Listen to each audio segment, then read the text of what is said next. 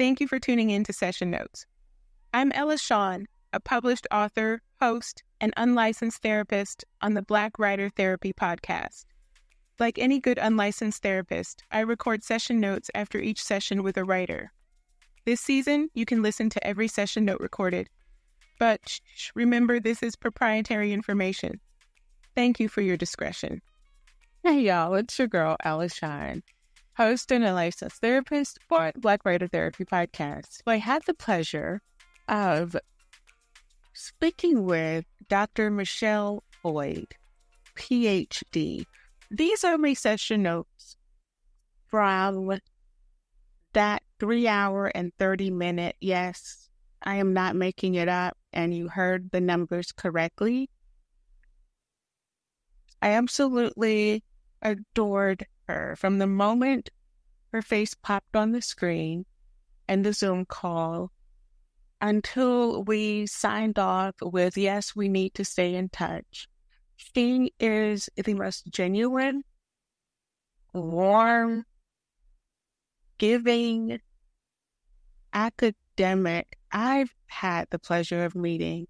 And the fact that she is a Black woman who left academia and decided to create writing retreats for struggling scholars who are having a difficult time writing in the mold of academia is just another reason I kind of hero worship Michele Boyd. It was interesting how Michele and I came across each other's radar. I received an email from from Michele's assistant asking if we, your Black Writer Therapy podcast, would be interested in having her on the show because she just released her second book entitled Becoming the Writer You Already Are. Thankfully, we were able to get everything scheduled and we had an amazing three hour and 30 minute chat about all things writing, academia, being a Black person in academia, being a Black woman in academia, to the healing process that takes place when we are writing, to her amazing retreats at Inkwell Academic Writing Retreats, and the gift she gives, how she believes that the people who come to her retreats are actually giving her the gift. She's absolutely humble. And before I get into my session notes, I want to tell you just a little bit about Inkwell academic writing retreats. If you are a scholarly person who is pursuing an academic degree and you have to write your thesis or your dissertation, but you are not feeling very confident or it's causing you anxiety or any of those things, then I am urging you to seek out the opportunity to to attend one of Michele's retreats. And because I just I totally believe in what she's doing and and I know from vicarious experience that for certain groups of people, specifically women of color, and even more specifically, Black women, there are lots extenuating barriers that are not seen by everyone and not understood by everyone, but that doesn't mean that they aren't there. And with Michele, she is actually speaking to those barriers and giving techniques and skills on how to overcome them. Inkwell Academic Writing Retreat. It is a Black woman owned company on a mission to help graduate students free themselves from self doubt and build satisfying, sustainable writing lives. Because academics write because they have to, for the most part. They write because that's how you get tenure is by writing and getting published and things of that nature. Our retreats teach scholars to write from the inside out, which I absolutely love that idea to uncover, then trust their own unique writing process. Doing so emboldens them to reclaim their love for their work and do research that makes a difference. Again, if you are a scholar and you feel like, man, I need that, like I, I need to reclaim my my love for what I'm doing and, and kind of reconnect with my reason for for going the distance as as an academic, then yeah, you will definitely want to check out Inkwell Academic Writing Retreat hosted by Dr. Michele Boyd. Okay. Now, here I am into my session notes. As you can probably tell, I've waxed poetically about Michele because she truly is just kind of a kindred spirit. We we are both sans hair. We enjoyed seeing each other's, you know, freshly shaved heads, and uh, we we are both wearing glasses and have potty mouths. And amazingly enough, we did not even foray into potty mouth territory, which I'm a little disappointed about because you know, it's hard to find folk who are who are comfortable with their own potty mouth.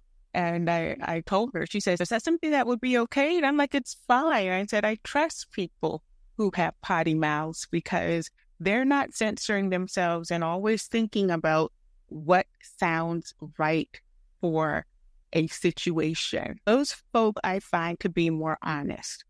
And it's not just me because I did read an article on Psychology Today that that said, yeah, people who curse freely and use, you know, use profanity freely, they tend to be less prone to lying or manipulating people because they're more honest with themselves and others. There we go. But we didn't get into any potty mouth situations. And maybe if I have the opportunity to to have her on the show again, we could just go down potty mouth lane and see just how real we get.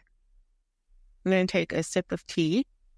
One moment, which reminds me if you would like to support Black Writer Therapy Podcast and myself as an independent podcaster, please feel free to buy me a cup of tea. Today's tea is chamomile lavender, and my tea note says plant kindness and gather love. If you're interested in buying me a cup of tea, and supporting this podcast, then I, I will leave a link in the show notes. Let's get to these session notes. I'm going to throw out three words that stuck out to me when we were going through this three and a half hour conversation transformative, overcoming, and magical. I adore those words. Those words mean a lot to me because I, I believe if you're doing anything and if you are putting your effort and your time into a thing or a person or an idea or whatever, that it is necessary that they meet those three criteria, that they are transformative, that they're not just going to be put out there in the world and then it's all the same once people are exposed to it. Nothing changes. Like, what's the point in putting it out there, right? secondly, overcoming whatever it is that we are putting out there in the world, it needs to be something that helps others and ourselves, obviously, right? Ourselves first, and then others to actually jump over that hump and move forward in whatever it is they have been stuck in. Because a life without forward momentum is not a life. It's just kind of a stagnant picture, right? The last magical look. I'm a black woman from South Carolina, and I don't care what science says, and I don't care what grown folks say. Magic is real. It resides right inside of us. And we have the ability to create magic, to share magic, and to show others the magic inside of themselves. And if we are not tapping into that, then what the hell are you doing? Why are you here? Why are you pursuing any of what it is you are pursuing? And for me, as a writer and for my podcast, Black Writer Therapy, I am talking to those people who set out to write. Why are you writing if you are not tapping into your own magic, if you are not sharing that magic with others and showing them how to connect with their own magic, right? And those were three words that kept popping up in the conversation with with Michele Boyd. And I was very thankful and I felt I felt very humble actually as a person, right? Human of me. Felt very humbled that I was speaking with such an amazing woman who understood the importance of being transformative, being an overcomer, and being magical in your own life, right? And she also focuses a lot on natural writing processes. Prior to, you know, my foray out into the world of writing and, and connecting with other writers, I was pretty darn confident in sitting down and busting out six to seven hours of writing and then taking a two to three day break and then going back in and giving it another six to eight hours, things like that. Like I had that as a process because it worked for me. It worked for for my my health. Um and it worked for like my mental capacity, right? And so because I have interviewed so many amazing writers and I've had the privilege of befriending so many amazing writers and I belong to two writer support groups and it's just like I I have a huge community of writers that I have been gifted with by the universe and it is not a reflection on any person within this beautiful community. It is a reflection on me, Ella Shawn. And that reflection is showing me that perhaps I was not as comfortable in my writing process. Perhaps I didn't trust my writing process as much. Perhaps I was you know, winging it and hoping things would be the way they needed to be. But after interviewing so many, and I don't call what I do on on Black Writer Therapy podcast to interview, but after having so many great conversations with writers and and and just kind of engaging in in the writer world, I find that I'm I've been tweaking my writing process and trying to make it look like the process that everyone else keeps telling me is the process that works, right? I listened to and, and read, like Maya Angelou said, she would get up in the morning and do her thing, and then she'd go to a little hotel room where she had a pack of cigarettes and sherry and, you know, all the things that she would need. I think she said like her her legal legal pad that she longhand wrote everything on. And she would go there and she would write and then when she'd come home, she'd have what she did that day and she would go about the day, you know, dinner, blah, blah, blah, all the things. And then in the evening, she would sit and kind of look over what she'd written that day and, and do some, some edits. And I was like, damn, that's very efficient, Miss Maya Dr. Maya Angelou. And so I said, well, God, I could do that. I think I could get up and, and, and, and do my thing and tick, tick, tick, tick, tick, and then go back into my home and, and, and, and feed the mom and the wife and the, all the other things. And then in the evening, look at what I wrote. And I can't do, I have the mental capacity for it. And so from, from just listening to Michele and then kind of wrapping my own mind around like how I have been putting off my own writing, oof, I haven't written anything substantial since probably November 2023. I finished writing a rather long novella as a part of a shared world project that I'd signed up for, you know, a couple of years prior. And my release date was, my release date was on November and and on November 28th. And so I and I struggled, y'all. I struggled. It was like I just need 30,000 words, and I'm just I can just trying to get 30,000 words. But as things kept going and I kept trying to tweak my writing process, I was just like, Lord God, I just want this to be over. I want to be done with this book. I just want to be done writing for a while. And that was like heartbreaking for me and after speaking with Dr. Boyd, with, with Michele Boyd, I realized that I had moved far away from my writing process. And because I was no longer operating in the natural rhythm and uh, ebb and flow of my process, because I was out here dabbling in everybody else's process, I like I couldn't even, you know, and she says this is important. You need to be able to recognize, access, and trust your natural writing process. But then she points out that there are so many external barriers that keep, and she specifically focuses on scholars. I am a fiction writer, right? And creative writer. And so but I don't think it's different. I don't think that there's a huge difference in the barriers that that keep us from accessing and trusting and recognizing what our natural writing processes are.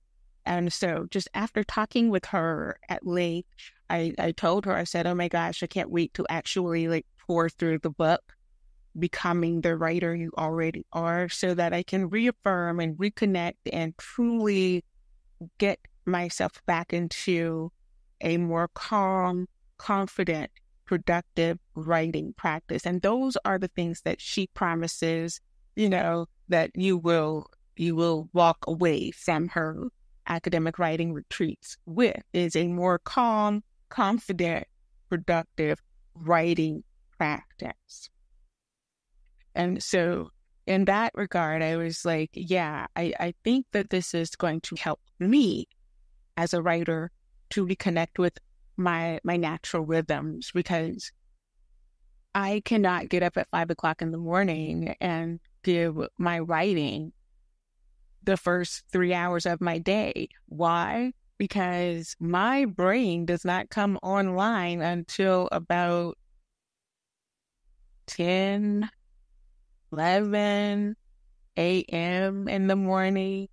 And then I have like probably until about four, five o'clock that I'm like, woohoo, I'm ready to go. I can get, get, get, get, get. But that's what I have. Like that's what I'm working with as a as a person who is living with cognitive dysfunction disorder as a result of autoimmune uh, disorders and narcolepsy with cataplexy, I have to go with my body's natural rhythms, right? I can't force the process. I can't force somebody else's process to be mine.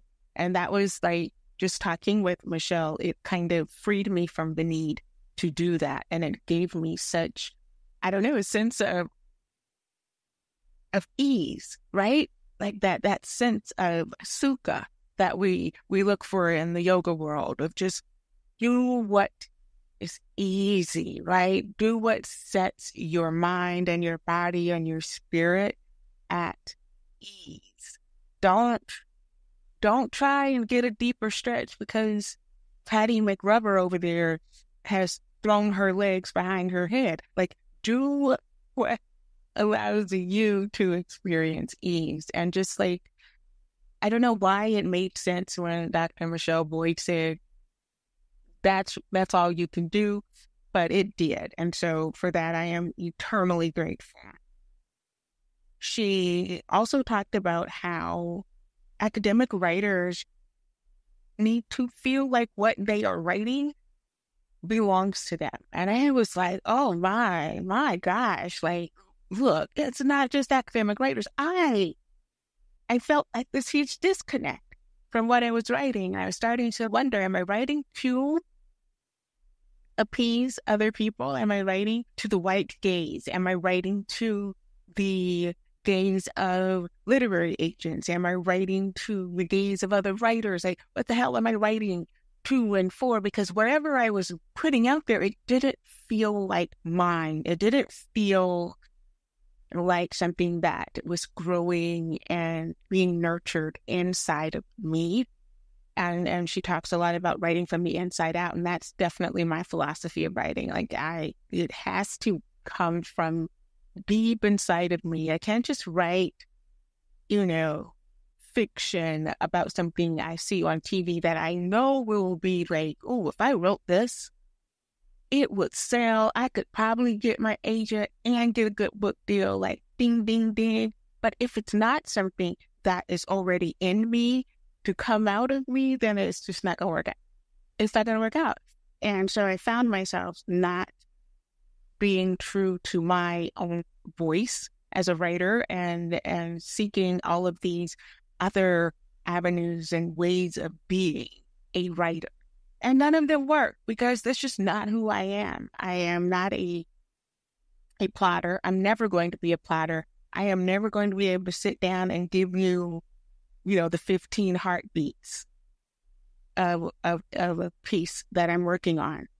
I cannot. And I tried to, y'all. Oh my God. I tried. Synithia Williams is a master at that. And she she broke it all down for me and was like, I was like, oh my gosh, that that's so cool. It makes it sound very efficient. She was also very, very transparent and said, Yeah, but you know, some of those beats don't ever pan out. I what I say is going to happen. Sometimes my characters take over and, and it's a whole different party. So I love that she was so transparent with that. So shout out to Synithia Williams, who has a new, a new novel coming out, I think pretty soon, hopefully in the spring, and her new series and her little, little fictitious Georgia, Southern Georgia town where we, we received, you know, the first book of Surviving the Southern Wedding. So where she was like, yeah, I just do this, this, this, that, and third. And it's kind of like, you know, it's more efficient and it's more effective. I mean, I was just like, yeah, that's what I need, efficient, effective.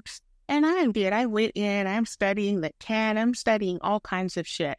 And I have like big pieces of post-it paper on my wall. I've color coded all my heartbeats, y'all. I'm in it to win it. And I just looked at that thing like, I don't know what the hell any of it is. I don't know how I'm supposed to integrate this into my writing. Like, yo, I cannot. I tried though. It just didn't feel like me. It didn't feel like like what I was writing as a result of doing all that belonged to Ella Shawn, writer. And um, I love that Michele emphasizes that those things have to, that your writing needs to feel like it's yours, right? So again, I don't know why it made sense. I told her, I said, I think maybe it's because you're a doctor, Michele Boyd, and you are doing this great thing for scholarly writers and, and all this, that, and the third. I said, maybe I'm just like, you know, one of those white folk who needs to see the credentials before I can like take the advice. I don't know. I don't know. But then I told her, so no, that can't be it because I've had two PhDs on my show. One who's a college professor, one who's been damn near sending people into space. And so, so I don't think that's it. I said, I don't know, but we just connected. And so, you know, it worked out for me. There are several things that that goes on at the Inkwell Academic Writing Retreat. And so what I did is just pulled some of the kind of headers that that stuck out to me.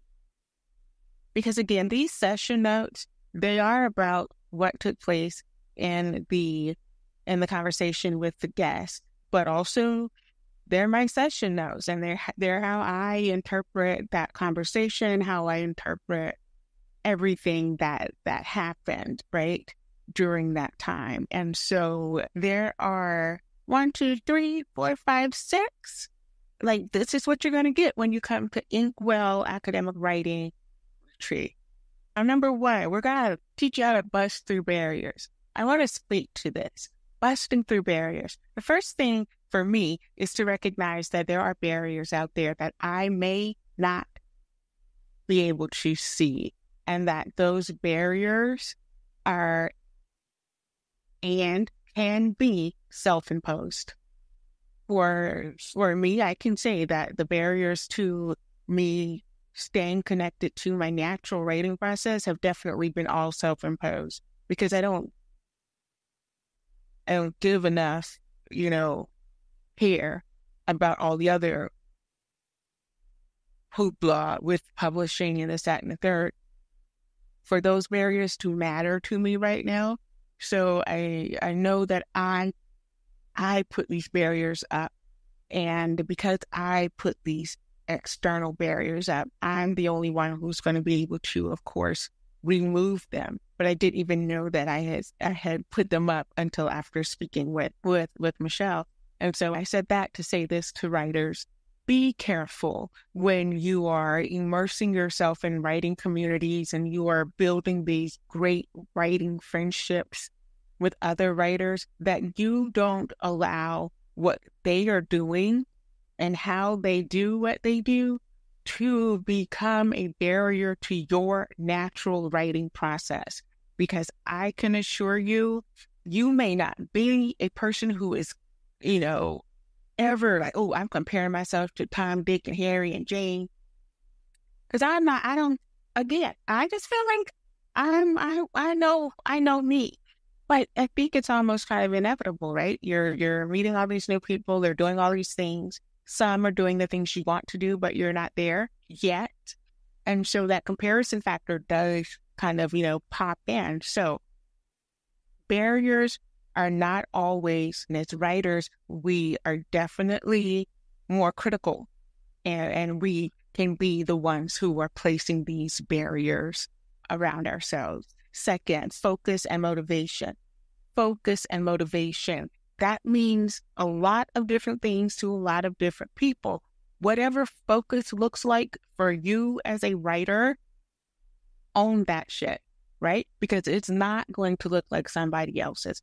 I know for a fact I can't get up at 5 a.m. and focus on anything except for I need to go back to bed. I can barely walk right now. I am not even awake. I am the walking dead at 5 a.m., right? So find your own efficient, effective way of putting your story out there. Yes? Because what works for one person is not going to work for every person. And that is just the way the cookie crumbles. And if you can't deal with that, then I mean, kind of like take a step back and say, hey, why am I writing again? What is it that I'm trying to do? Right? Calm and confident. Y'all, those are my favorite two words. Like from everything that I got from Michele Boyd and and her approach to writing, coaching, and and what she does in her retreats, that is the thing that spoke to my heart and it spoke to my spirit because she focuses on the emotional upheaval that will cut a writer off from their writing, right? And so if you were anxious and and feeling like, oh, I don't know what I'm doing, I don't think I can do this, I just need to quit, this is, I don't know what's going on, right? And then you lose your confidence. Like, there is no way you're going to produce what it is you want to produce. And I don't care if you're an academic writer, a creative writer, if you're writing narrative nonfiction, or if you're writing erotica. Like, if you are not calm and confident in your ability to to tell what needs to be told in a way that is both accessible and informative, right? and entertaining, like for us creative writers, then okay, it's just not going to work out well. And so when we discuss that and how the focus is on creating this sense of sukha, I cannot say it enough, the sense of ease. S U K A is a Sanskrit word and it means ease, E A S E, not easy, right? It's not easy but it's ease. You are at ease when you're writing, if you can't be in that space, if you cannot hold that space for yourself as a writer, then more than likely you're not calm and you have lost your confidence and you are still struggling with barriers and your focus and motivation are definitely coming from outside of yourself. And so, whatever you're doing, it is not effective and obviously not efficient. So, calm and confident. I love it. I just want to be calm and confident when I'm writing. Just need to know that I'm writing It's coming from me. Yeah. That's where I am with it, right? And then we have a rock solid habit. And this is where I fall short. Right? Like if this was one of the Ten Commandments, I'd be like, hey man, I could I can hit all nine of the other ones, but this whole rock solid habit thing, we're gonna have to do some serious, like, you know, coming to everybody, right? Jesus, Muhammad, Buddha, uh, Shinto, Vishnu, you name it. We're gonna have to come to some people because look, bad habits just don't work out. I want it to work out though, right? I want to be one of those people who can start a habit and and and and like make that habit a ritual and then have that be my thing. I am just like a space cadet and I know it because when I tell you I am rolling in big Sagittarius energy, it is what it is. I'm not even trying to like, oh, no. But this is where I want to be. This is where I desire to be is a creator and a stick person, rock solid writing habits. So I am a firm believer that the desires, the true desires of my heart and my soul, the universe will come together and and make it all work out so that it comes to pass. So this is a desire I'm putting out into the universe. I'm putting out into the the field of pure potentiality. And I know, right? I know that it is my desire. It is my desire, that thing that is directly connected to the erotic that will go to work and make this a reality for me. So I'm not worried about it anymore. But and I'm not gonna force it like I've been trying to force it. But I do need to make sure that I'm keeping my eyes on the prize and not beating myself up every time I fall short of, of you know, the habit or the ritual.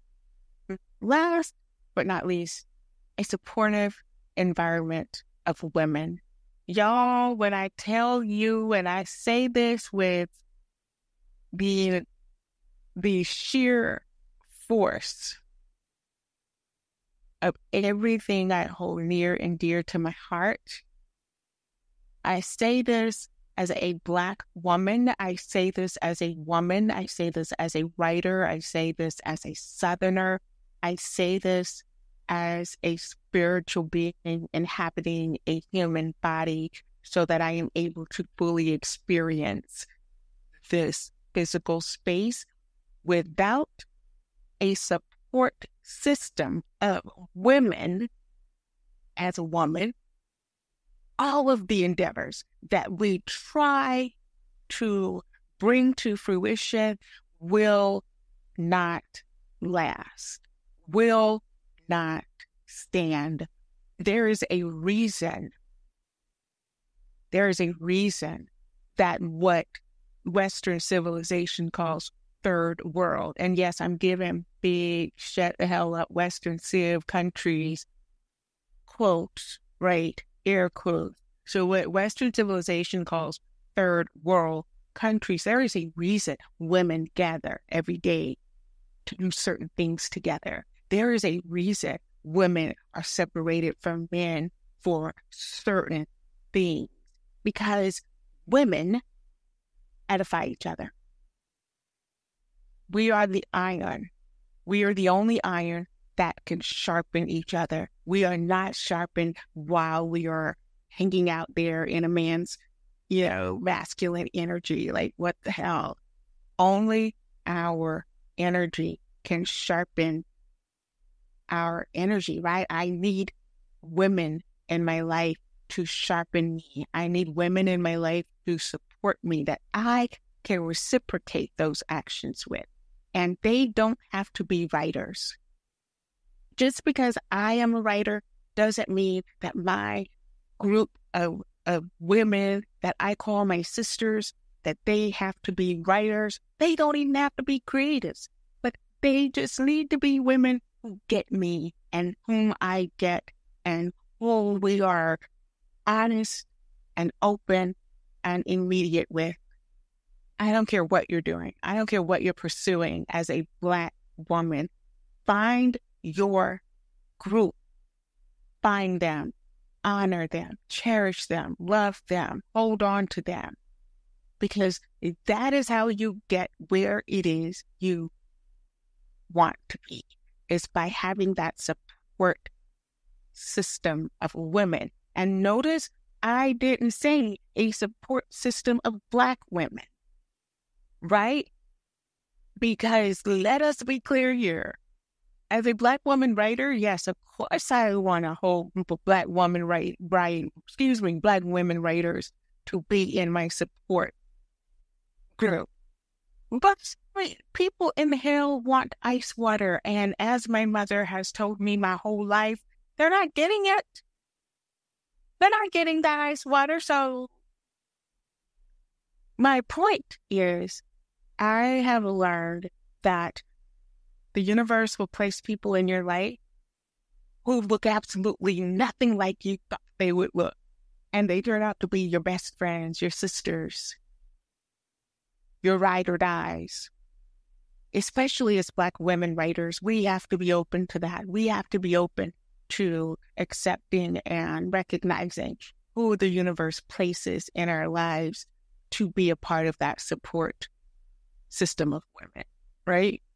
So I think that the support situation and the calm confidence, right? The ease with which we go through our writing process and, and, and building that support structure and making sure that what we do is transformative, making sure that what we do is about overcoming, making sure that what we do is about tapping into magic, is about sharing magic, is about showing others how to be magic too.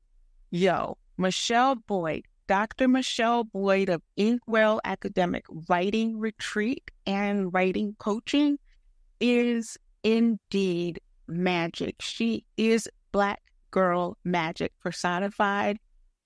And I cannot wait until you guys get to hear this two part recording session with Dr. Michele Boyd on the Black Writer Therapy podcast sometime in July of 2024.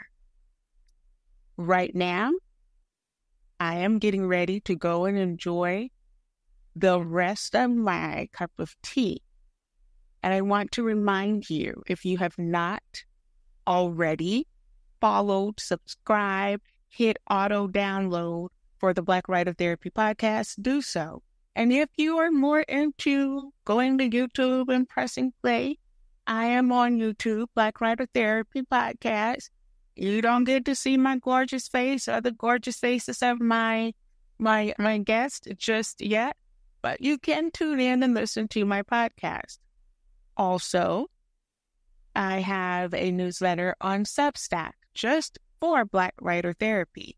And there are going to be a lot of perks coming up where you can see my gorgeous face and the gorgeous faces of these beautiful Black women writers who share themselves and their talents with me in all of these sessions. If you want to support Black Writer Therapy Podcast, do so by buying me a cup of tea or becoming a paid subscriber to my Black Writer Therapy newsletter on Substack, where you get access to video feeds and little like, hey, what's up? I got merch. You can get a discount or whatever else comes up, right? These have been my session notes.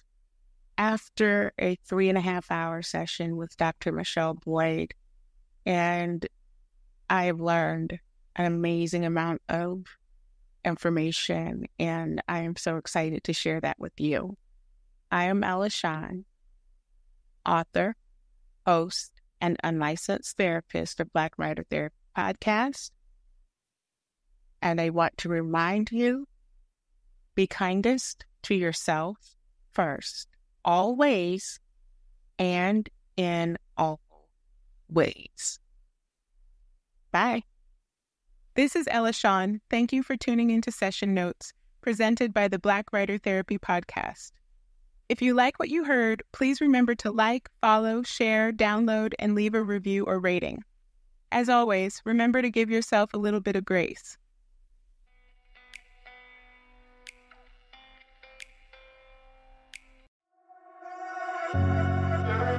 In a world where shadows dance and secrets lurk, comes an unforgettable saga of broken souls, written by Shawn.